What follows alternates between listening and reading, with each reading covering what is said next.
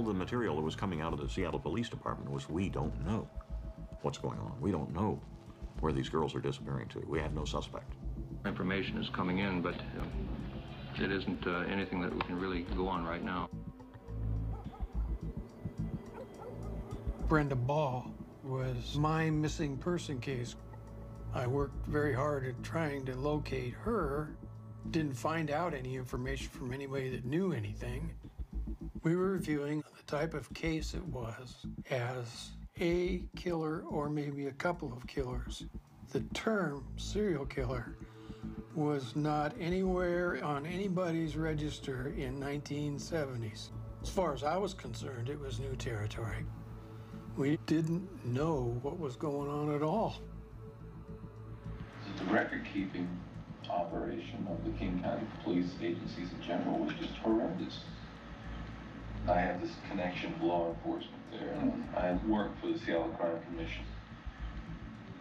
I did some work on this crimes against women uh, issue, particularly rape, to study this and make some suggestions to the Seattle police on how they could prevent rape.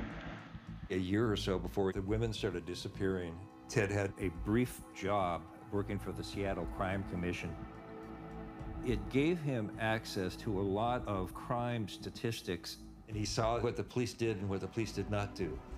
And he saw all sorts of places where somebody who was smart enough could take advantage of the chaos and the lack of consistency from one jurisdiction to another.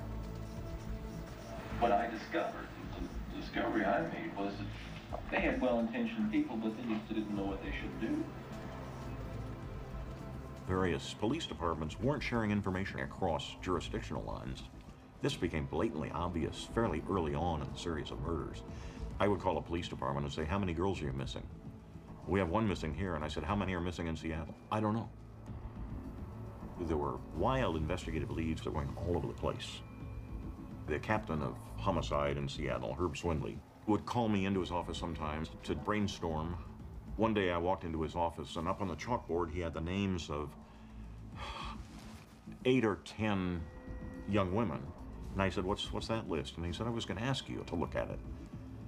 And in between each of the names, he had the numbers 23, 23, 36, 36, 23, 23, 36, 36. And I said, I don't know, what's that all about? And he said, that's the number of days between the disappearances. He said, do you see a pattern? He was researching various religious cults to try to attach it to various kinds of occult calendars and